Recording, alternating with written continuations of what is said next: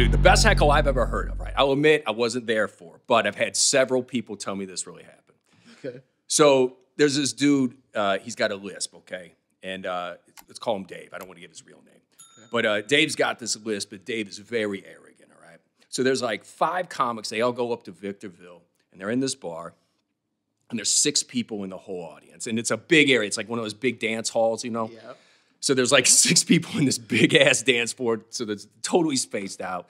No one's laughing. Every comic goes up and bombs. This other dude's like, I'm gonna, I'm gonna kill him. I'm gonna kill him. I can't wait to get up there and kill him. It's going, I'm gonna kill the shit out of him. You know what I mean? Just, I had to, it was hard to find a word with an S there, but, uh, but anyway, though. So he, um, so he starts his uh, set. And he goes, yeah, so, uh, so I got this list from, uh, you know, just eating some bad pussy, and he goes on about this joke about eating some bad pussy, and then. No one laughs. Later on, he comes back and he goes, No, seriously though. He goes, I got this list from my mama. And some dude jumps up and goes, Oh, he just said he ate his mother's pussy. I was Oh, like, shit. Don't- Oh shit. I oh, was like, There's no coming back for that. Just drop the mic. Dude, that's your closer. Damn. End it. End Damn. it. You know? Yeah, yeah, yeah. You gotta retire after that shit. exactly. And I mean, look, we've all been a victim of, you know, having that perfect heckle. But Yeah. That one definitely, I think that would just definitely stop me in my tracks. I'd be like, uh, Yeah, it's time to go back to vocational school or I'm something after that. done. Nice. Dope, dope. So, man, I'm glad to have you on the show. It's Good to learn more about you. Uh, you're originally from. I'm originally from Toledo, Ohio. I uh, Nice. grew up out here, though. I mean, I moved out here on my 12th birthday in 1991, and Okay.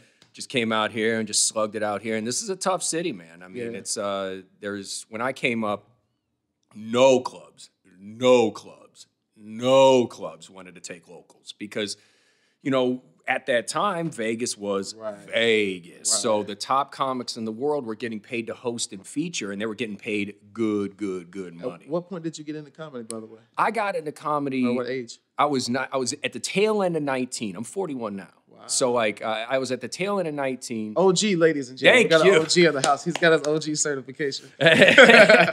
but Wow. well, you know what it was though. But then I got into radio. So like, I got I, I did like a double whammy thing. So whenever I Stand up first, then radio. stand up first, cool. then radio came like right after that. Cool. So I was uh, you know, so I was doing stand up uh, at 19, sneaking in the bars, and it was kind of funny because like all the OGs, all the older comics, Yeah. you know, they all knew I was coming, and they would stand like in a row, and I'd walk on the other side of them, and then they'd walk by the bartender, and nobody would card me.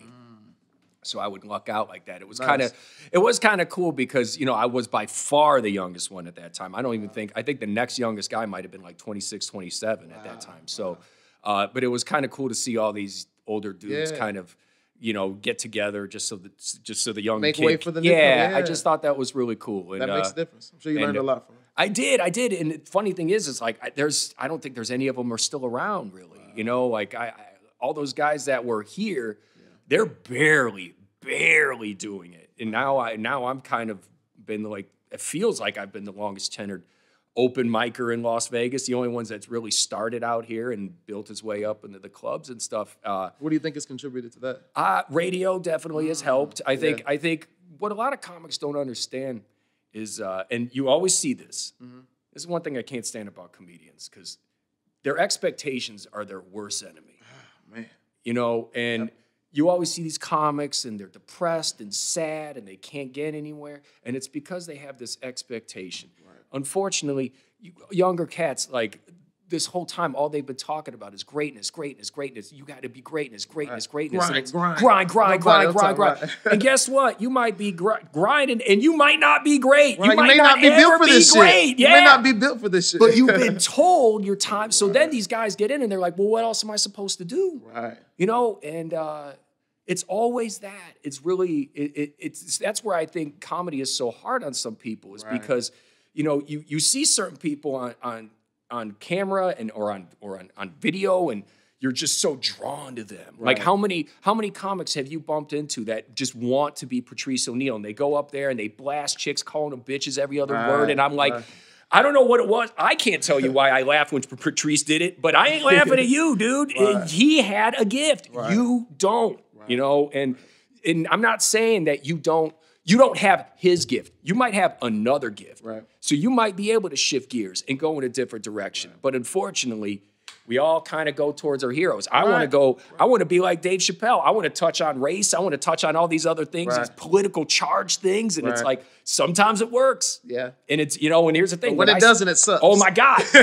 when I saw Dave do it on Killing Him Softly, that was a special for him. It was his people coming out to see him. Yeah. Me doing the same Yeah. shit in front of a bunch of strangers that don't didn't expect that. They're like, uh, I don't know where I'm going. At that You know? time? Yeah, at that time, yeah, you know?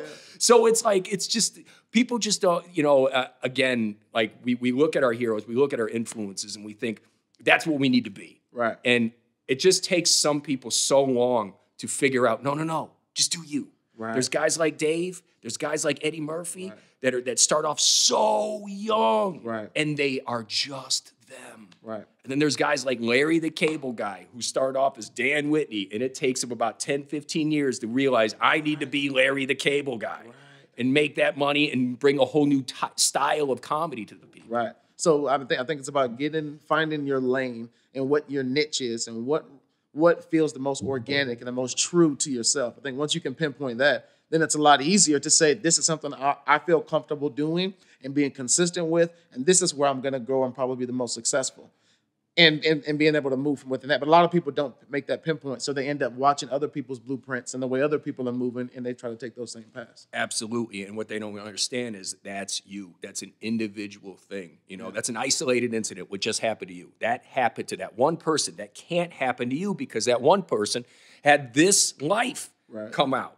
And they also had this type of bone structure. And they Right. also had these type of friends. And they had this type of, you know, uh, uh, socionomic, you know, whatever Right, kind of right. college word you want to throw in there. They right, had right, this right. type of upbringing. Right. It's like you can't you to to to to, to say that somebody's going to have the same type of uh, success. Now, it, it goes and, and it's with comedy. There's just so many things. Like you'll see some women they get boosted up to the top top level just because they got great bone structure. right. You know what I mean? Or That's a like fat ass. or a fat ass or something or just something to something. But then there's other women out there that will just that are so funny and they Right. get it and they're so funny and then what do they get? Bunch of dickheads walk up to them going like, "Oh, you're funny for a female." Right. No, she made you laugh, fuckface. Right. She's funny for a comic. Recognize that. Right.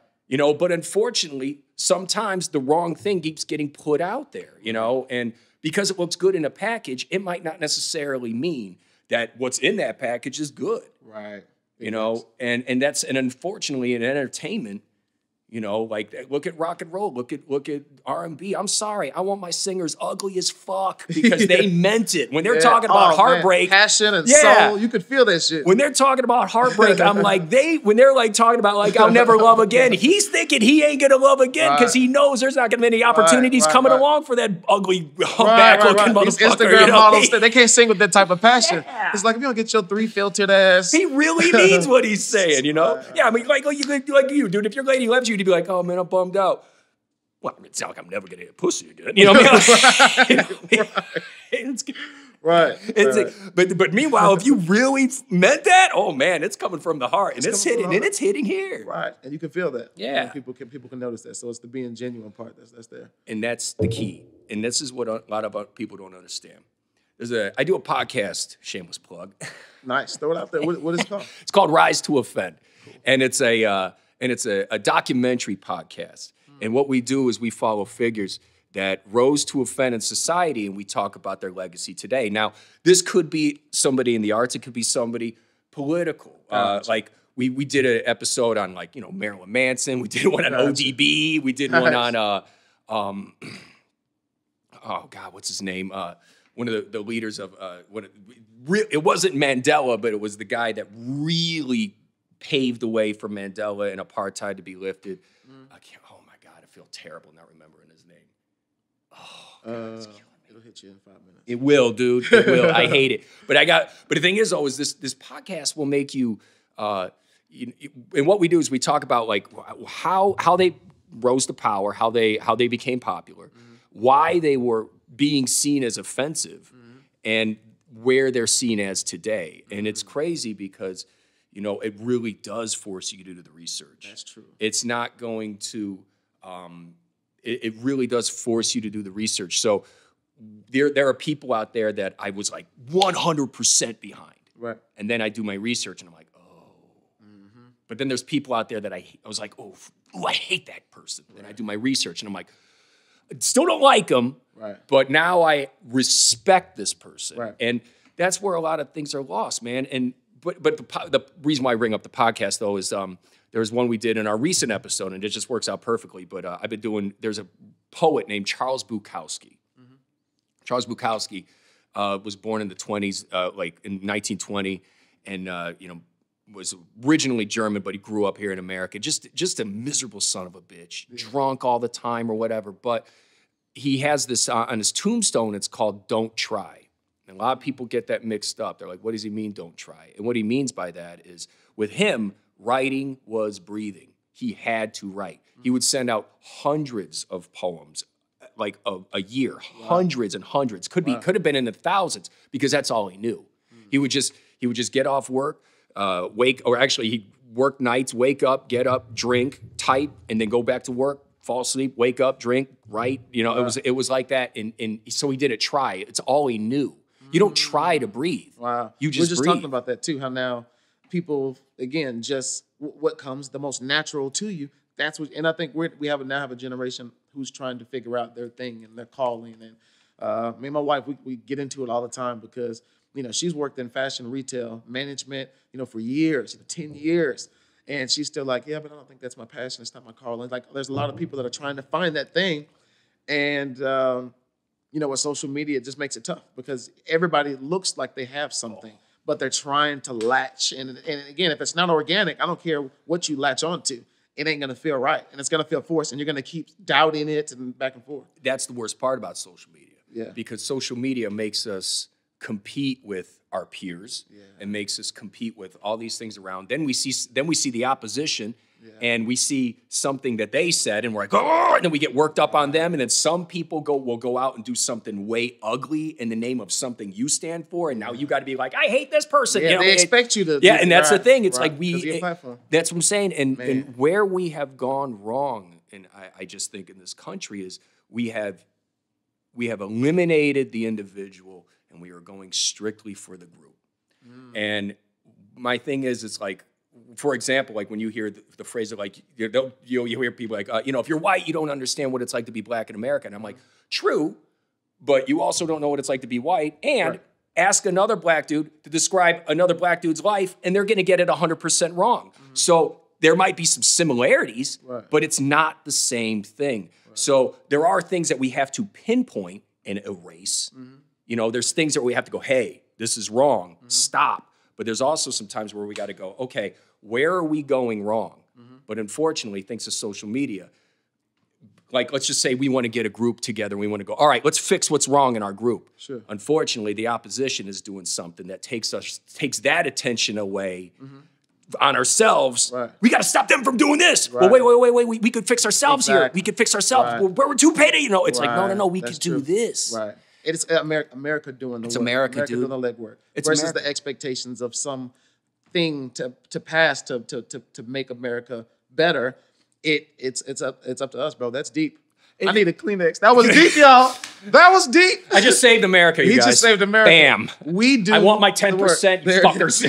that is, give him a cut. Give him a cut. Which state do you want? We'll just, we'll just Oh. change the name of it. Let's go LA. go LA. great. It's, it's not a state, but it's got a great. Uh, what was it will got- be. It will be It will one be. day when it falls into the ocean and becomes an island. It will. But I be. think that, that that's that's a powerful message because we got to do the work. You know what I mean? As as a whole, and I think radio, comedy, entertainment, obviously sports helps us do the work and better understanding each other, having those conversations, and allowing us to kind of all see that, especially during this pandemic, we all want the same shit. You're totally right. Totally right. And that's that's why it's like you'll see people like again, you know, you bring up people that take the, the, the like for example, Ka- uh, Kaepernick kneeling. They'll take it one way or the other. And Yeah.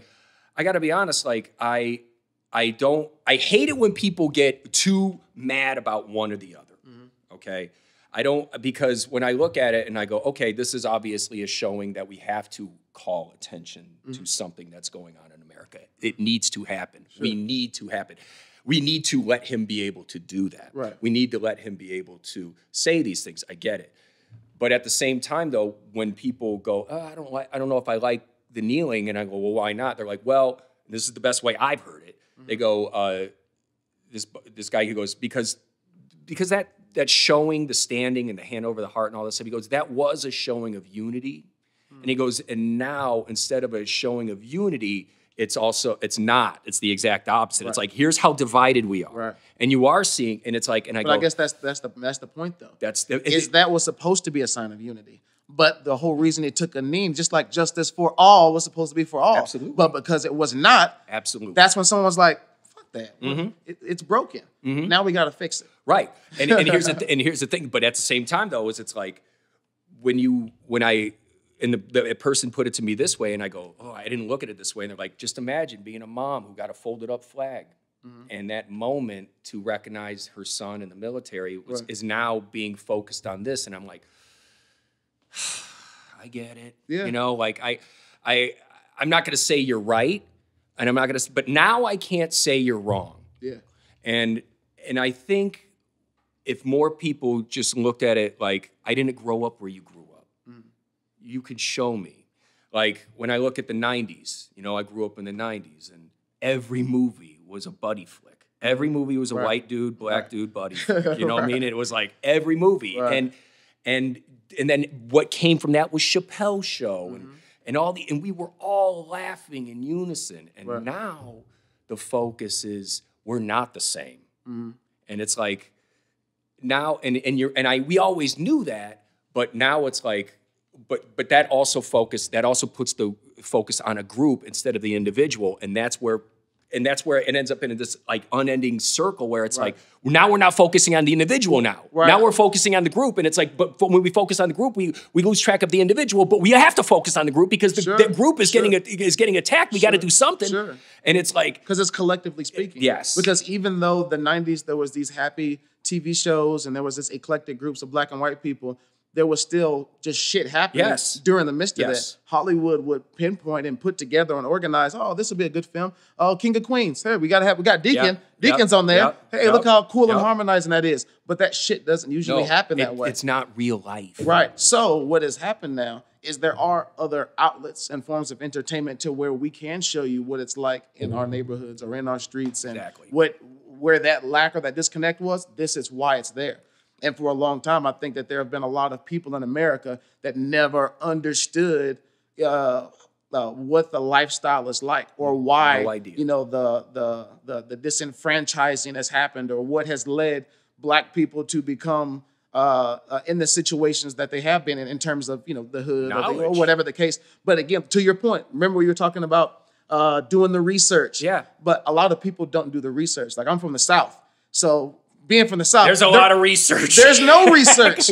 no, I'm just saying, like, there's a lot of research where you're like, holy shit. And then- Right. that's what I'm saying. When you do do the research, especially Right. when you're focusing on Black America, you're like, Right. "Ooh, But but the, here's the thing: it's not a research. There are a lot of just trained and conditioned behaviors Yes. from their parents, from the way things were, from the way things were orchestrated. But until you kind of wait a minute and say, you know what, I know things have been flowing this way. Right. Let's take a minute to see why, and does that make sense for all, This- like it was designed to be? Absolutely. And this is one thing that I saw now. I think I've made it apparent that I'm not a Trump fan. um, but the one thing I saw that was like, it, it, it showed me, the, the, it, it kind of backs up the individual thing that I was saying. And it was like, I was overwhelmed. I was shocked by the overwhelming amount of people that, uh, the overwhelming amount of Latinos and blacks that voted for Trump. Yeah. I was like, what? What? And and I think and I think that there's just once we once we put a, a, an explanation on how you're supposed to be, Yeah. and once you don't fit into that category, it's like you are going to have a backlash. Yeah, and and look, and again, we're people, so it's like our our our experiences and stuff, and they shape us. Right. And that's and that's a good point too. Not to Yeah. cut you off, but a lot of times we'll look at those people that think differently and shame them or shun them. But we also have to understand, again, that expectation. We have to understand that maybe due to their upbringing or their environment, there's a disconnect or a not understanding or not they didn't do the research or there's just something that's a little off. That and they need they they perhaps may be open to learning more, but a lot like I said, being from the South, a lot of people that are fixated in just what they've been exposed to and conditioned behavior Mm-hmm. don't necessarily want more knowledge or more information. Because the moment that Kaepernick started to kneel, they, nothing that people said Yeah. made sense. Right. There was no justifiable Right. excuse. I don't like it. Right. And right. then six years later, now there's more stuff. There's more uprising, and more people are starting to get it. And now it's like, oh, okay. And now, psh, And that's and I think what ended up happening was is when Mm-hmm. Kaepernick did that, uh, there was an outpouring of emotion. Yeah. And dude, Definitely. as much as I love emotion in my music and, and in my art, oh man, it's overwhelming. when you are when you're All when of you- this shit is overwhelming. Yes, dude. But when you mix, but when you mix emotion in a movement like that, Yeah. you don't know how some people Yeah. are going to react. Now, unfortunately, But it ain't about that. that's what I'm saying. Yeah, but but but but you have to understand though, when the opposition, and this is this is the world we're living in. Right. And you brought up you brought up uh, you know ways you, now you're seeing movie and TV shows and comic books, and, Right. and you're, you're they're getting an idea like Right. there's so much more diversity now, Right. and it's continuing, Right. and that's what we need. You know? Representation. We need Right, representation. okay? Asians and I'm sorry, dude. Indians and natives. Hey, to you know- hear their story and learn more, and, Dude, you- and, and get their experience. We have to understand that, Mm-hmm. okay? But it's like, um, but learning though, learning there is going to be some bumps in the road, Right. and you, we have to allow the opposition to learn. And and to and to that guy, he's like, okay, maybe he didn't like Cap, but then I saw a video of somebody doing, and they were kneeling at the tomb of the unknown soldier, and I'm like, come on, man, that's that's yeah. There was a, there was a there was a viral video or a or a, or a picture that went viral of a dude kneeling at that, and I'm like, see, and that's the thing, you didn't see that. on a what video? It was um, On a like tombstone of a uh, fallen th- th- soldier? th- there- there's a there's a, a memorial, and it's a and all it is is a flame, and they play taps, and they and it's to commemorate all the fall, fallen soldiers. Gotcha. Okay, and it's I, I'm not hundred percent sure where it's at, so don't so don't, uh, but uh, but the thing is though is again, that guy doing that kneel that knee, I'm like. You know what you're doing that At that location? At that location, Oh, man, and he, it's was, like he was with the ops, man. Somebody sent him there to go But do that- that. see, but that's to what I'm paint the narrative. There you go. That was a paid algorithm. But see, but see, that's but the thing is though, is you're right, and it, it could have been, but it might not have been. Yeah. And my thing is, just like just like you said, you were like, no, no, no. See, you were like, you were like, no, we didn't, Sure. we didn't okay that because again, that, that goes back thing. to the That's point an of individual move, and we want we should be punishing Exactly, that that individual, individual instead move, of the group Versus but the movement. Right, but right. unfortunately, Right. the second that guy did that, Right, right, right. boom, it that's the something face of the movement. too. Yeah, Exactly. that's- Just like when there's a protest and someone, one idiot does some shit. Oh yeah, he threw a bottle in the building. Look at- them. Look at those dopes. Look at those dopes. And I'm hearing the same shit on the Trump side. There was only 16 of them that went into the Capitol. What about the other 500 that were out there not doing anything? And I'm like, uh, you know. Right. it- it- but again, it's just like, th- it's so easy to finger point. It's so easy to do this. It's a little bit harder to do this. Oh, yeah. Hurts my wrist a little. Right. But God damn it, I got to do it every Right. now and then.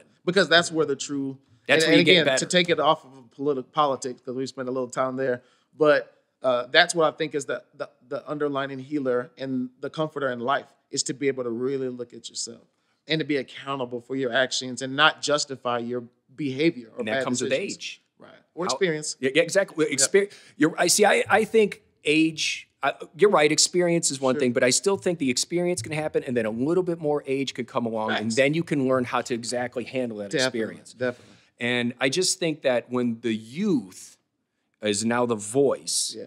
it's like that's where they haven't experienced certain things. They haven't seen. They haven't haven't seen when shit. Right. It's soft. Right. Majority speaking, uh, Absolutely. Or or they or they're too hard. Or it's like you got to learn. Like, look, if you do something ugly, that's gonna hurt us. That's gonna hurt your movement. That's gonna hurt your family. what was your first job?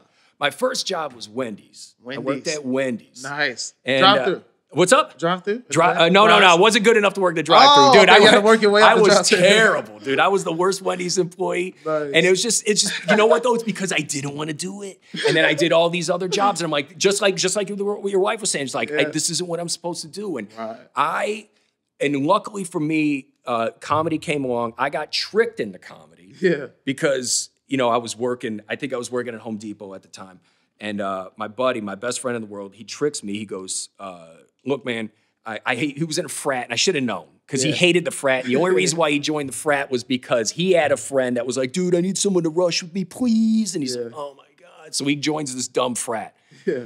He lies flat up, straight up and says, Hey, they're throwing a giant party. I'm in charge of the comedy entertainment portion.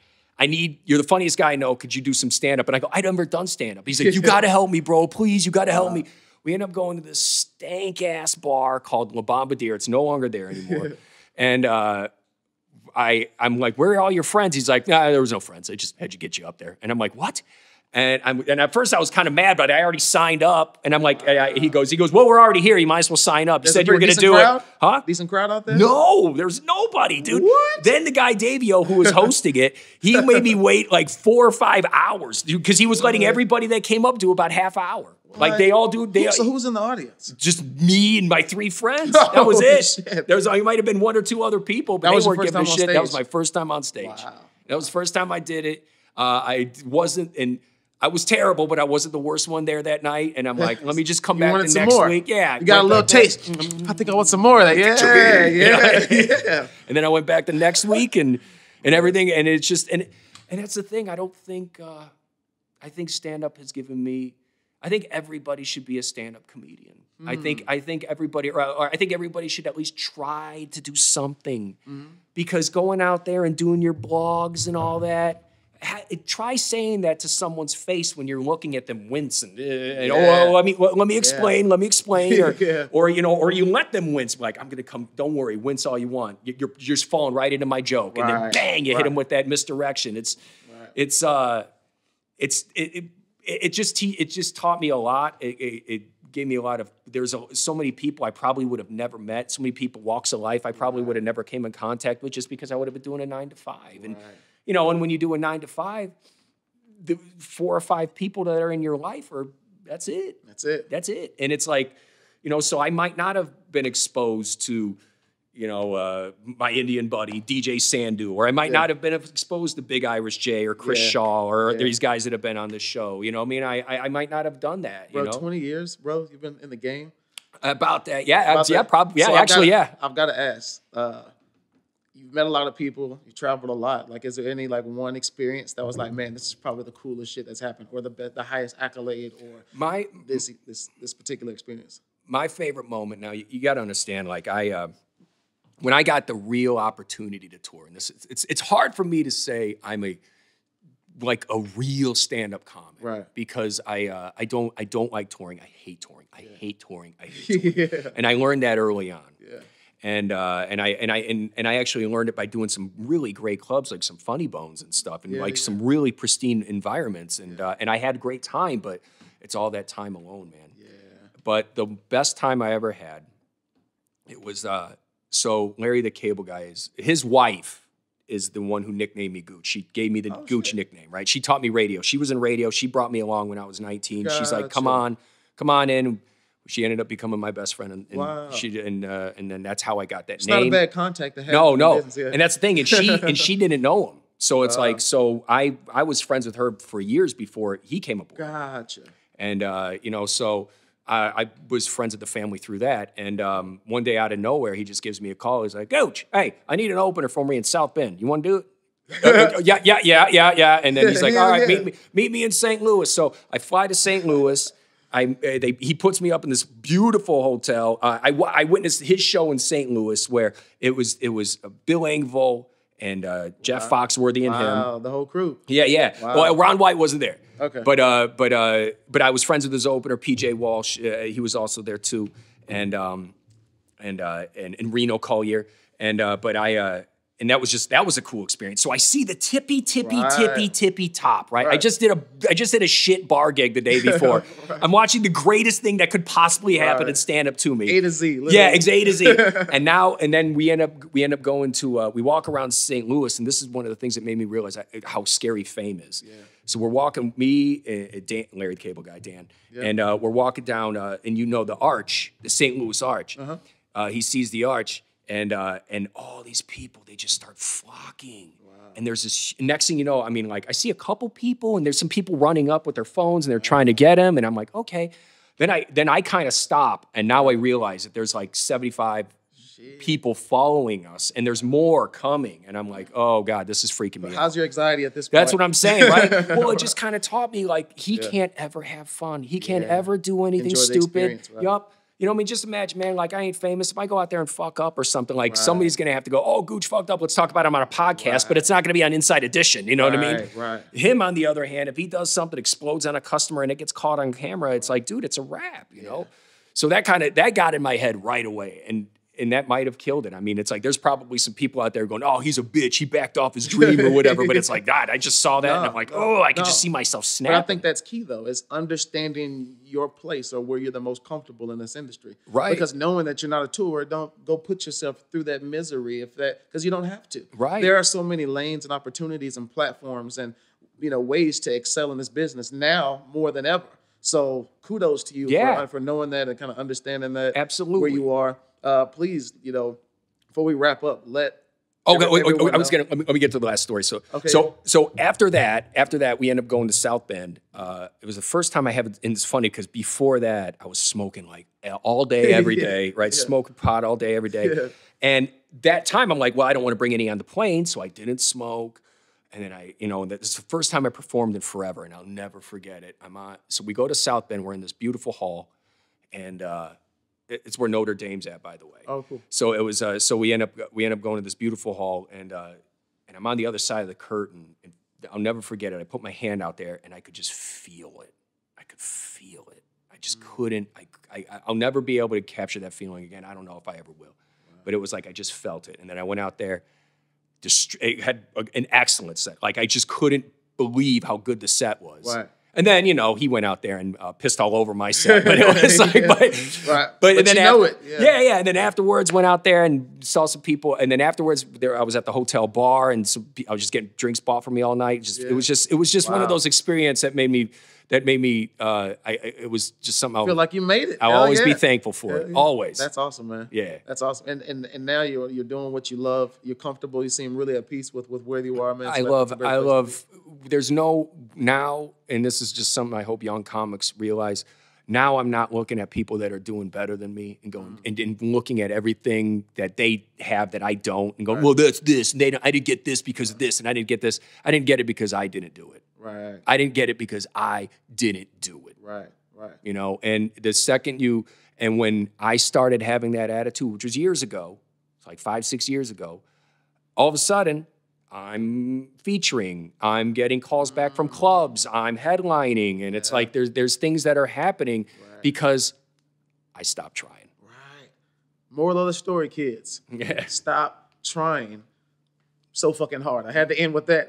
So more doing Exactly. Yeah. Don't try so hard, but do what comes to you natural. I think the, the- like the story you said earlier in the day was was kind of a little bit about that too. Not trying. What, what was it? It- it's don't don't try Yeah. Somebody had done a tombstone or something. charles yeah, bukowski yeah, yeah, don't try just Super dope. just do don't try That's what's up, man.